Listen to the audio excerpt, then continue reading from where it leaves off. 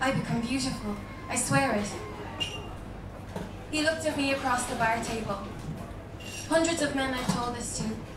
Hundreds of old, young, fat, skinny, brave, hopeless men. And he was the only one to look at me and not say a thing.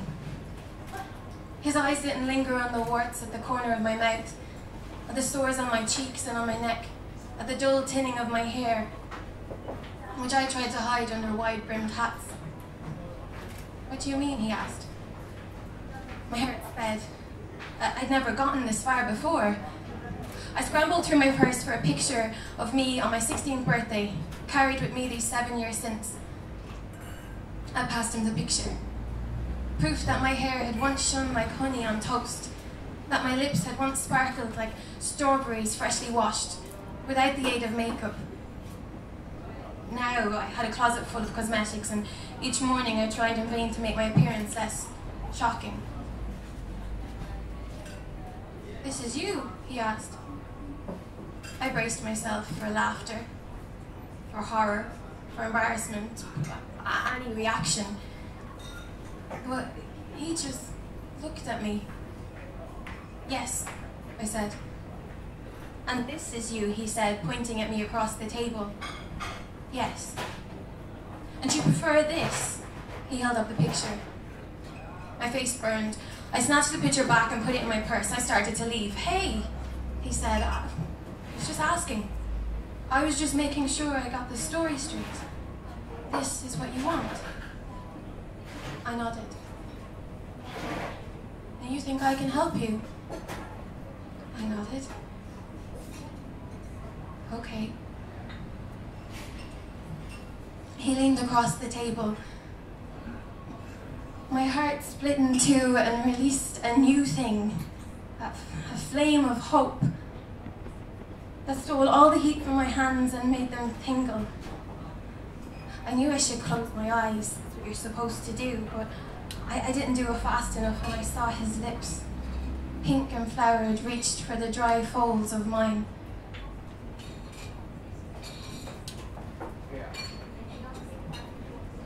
His peck made a little noise like the sound of air being released from a balloon. He sat back in his chair and looked at me. Is it working? I asked. My words were soft, almost silent, scrambling to get out of my tight throat and be heard. I don't know, he said. Maybe. I felt my face with my anxious hands, but everything was still rough, puckered, hairy. Maybe it takes a minute, he said. I sat with him for a long time, lamenting that no miracle had occurred, but while he spoke to me, I, I realized that miraculously, he was still there. Well, I decided I'd gotten it wrong. I'd misunderstood the witch who cursed me. She hadn't said I needed to be kissed, she said I needed to fall in love. I had once believed that you couldn't have one without the other, but things change. So, we went for walks in the city, he and I.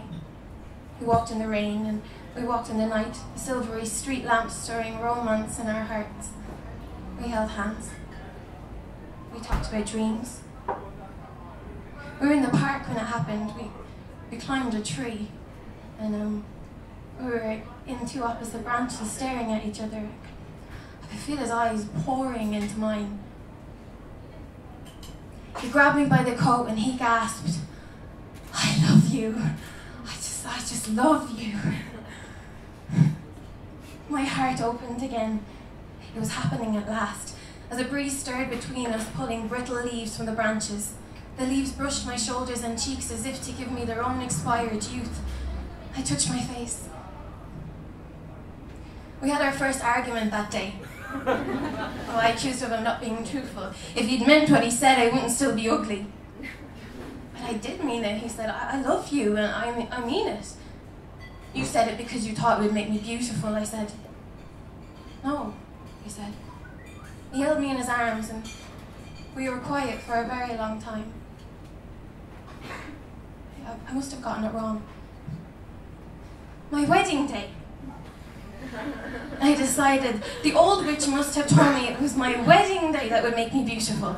I thought she said love, but I used to think you couldn't have one without the other and things changed.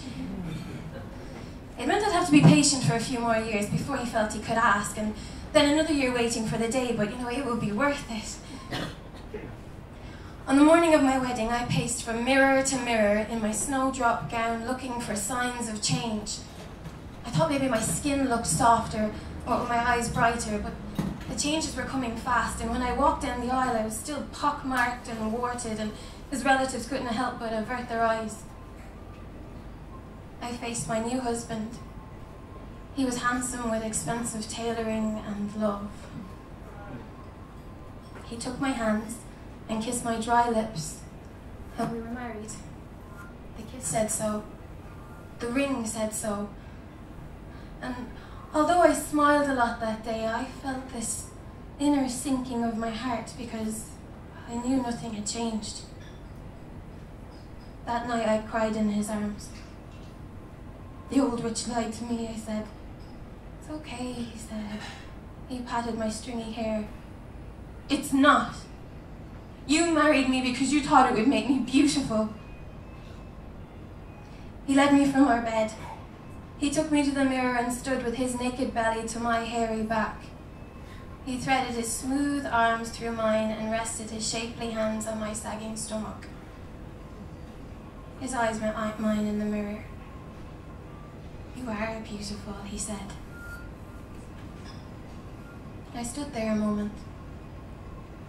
Then I slid from his embrace and left the room. I spent my days combing my memories for what the witch had said. I had gone into her backyard and I picked her flowers. They were the ones she was growing for a competition. I didn't know that. Hmm. She caught me and she caressed me and she said the spell could only be broken. And then, then it's just radio fuzz. I spent more money on fancier cosmetics, designer clothes, they made little difference. My husband would catch me staring into mirrors, eyes drooped and tired. Come on, he'd say, and he'd gently lead me away. Sometimes I'd follow, most times I didn't. Very quickly, our marriage lost its laughter. I blamed the curse. I'd sit in my room nursing and nursing this blame until I felt it in every shriveled pore. My fault. It's my fault.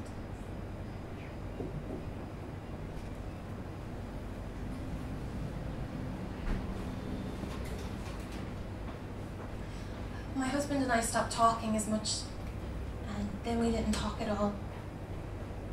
And one night at dinner, I realized he couldn't even look at me anymore. His neck was drooped down like a dying flower. I began to cry. Fat drops landed on my fresh steak. The meat sizzled with despair. You don't love me, I said. I'll never be beautiful. Wouldn't you just leave? He chewed his steak. I'd overcooked it, it was tough. he chewed for a very long time. Then he swallowed and spoke. You're right, he said. We finished our meal.